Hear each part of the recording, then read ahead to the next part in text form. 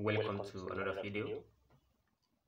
how to solve this algebra problem math olympiad for the formula of x.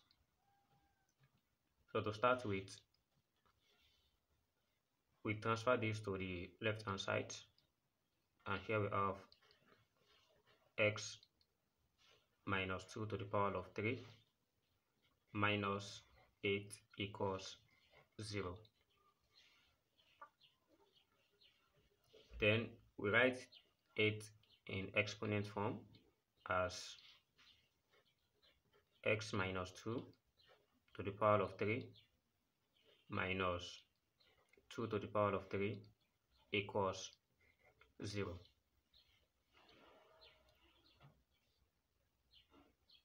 Then here is x minus 2 which takes power of 3 and 2 takes the power of 3. So we consider from this a to the power of 3 minus b to the power of 3 equals an identity of a minus b bracket a square plus ab plus b square so if A is x minus 2 and B is 2, we're going to plug it in this and therefore we have x minus 2 to the power 3 minus 2 to the power of 3 equals x minus 2 minus 2 bracket x minus 2 square plus so we have 2 to the bracket of x minus 2 plus 2 square then we have this equals x minus 2 minus 2 that is x minus 4 open bracket.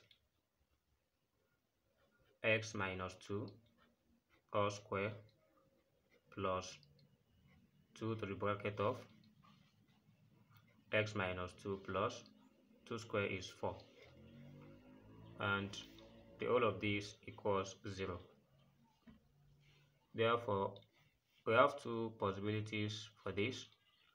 We are going to let x minus 4 equal 0 and the whole of this equals 0. The first one, x minus 4 equals 0. So for the second one, x minus 2 square plus 2 bracket x minus 2 plus 4 equals 0. So here x equals 4 which is the first solution to this problem. And with this we try to expand this and uh, we do all the necessary analysis. So still going to get the answer but let's do something different.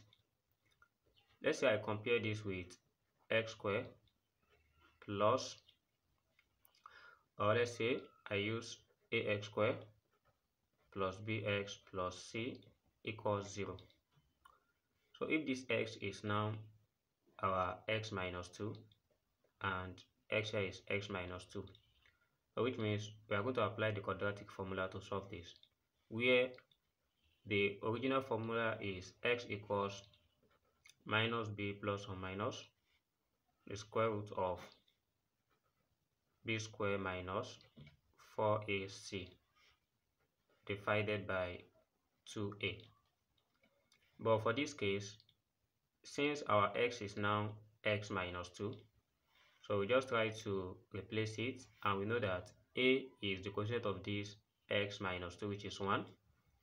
So coefficient of this x minus 2 here is b which is 2 and the constant value which is c is our 4. Therefore we have x minus 2 equals So minus 2 plus or minus square root of 2 square minus 4 multiplied by 1 multiplied by 4 divided by 2 multiplied by 1. So here is x minus 2 equals minus 2 plus or minus square root of here is 4 minus 16 divided by 2.